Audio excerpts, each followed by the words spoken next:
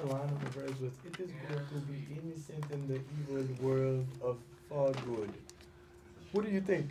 Uh, innocence is innocence. Go Saints. We have speed whenever you're ready. All right. So this is the generic one I'm doing for all the people who can't be here. I like it. Hey, people who can't be here.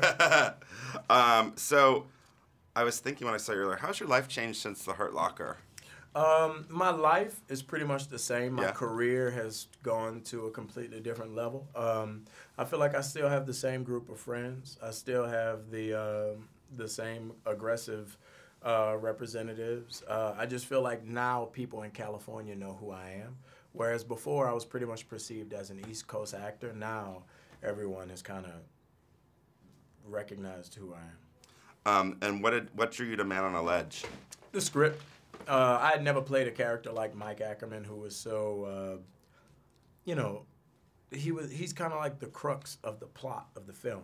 The audience goes as I take them. So when they figure me out, they figure the film out. So when talking to Asger about it, you know, he was so focused on character. And knowing his work and wanting to work with him, it was, you know, a 50-50 split between the script and Asger. I was all aboard. When you play a character like that, do you sort of have to find the, I don't know, the way he doesn't see what he's doing as he's his own victim? Uh, with I'm trying to not give anything away. Oh, I'm like, mm, uh, do you know what I'm saying? Very Freudian. Mm. the um, no, I mean when you play a character like that, like Mike Ackerman, you have to play the reality of the moment because you have no idea what's going to happen today after this moment. You have no idea what's going to happen tomorrow. So all you can do is play everything that's happened up to right now. And it's the same thing with acting. Um, you know, you can't play the future even though you know the future. If you're true about the moment that you're in, it'll come across on screen and the audience will put on you whatever they want to put on you. Unless you're in a James Bond movie, then it's just like, mm, I'm the bad guy, I'm rich. Mm. You should do a James Bond I would movie. love to do it. I've been working on my British accent to do a James You don't have to have a British accent in those movies. I worked on like six of them. You Really? On yeah. James Bond? Yeah, yeah. I did the Pierce ones. You gotta have a British accent. you can, yeah. You can, you can, yeah. All right. I can, I can do it. I went As to a Juilliard. I villain, though, you could it. be from anywhere and have any Nah, accent. James you want to have the British accent. It would be you and Daniel James. Bond and Compton. That would be a good James Bond.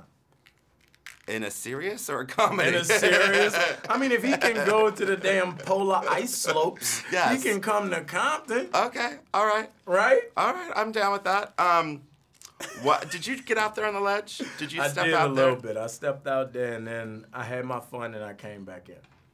Did you, would you would you say it was fun?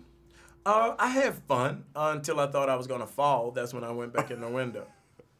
Um, and then you've played other cops. I mean, do you, when you go into a role like this, do you think? Do you? I mean, you've met with them before. Or did you meet Uh, with her? I stay as far away from cops as possible. I have a pretty good track record with the NYPD, and I try to keep it that way. Okay.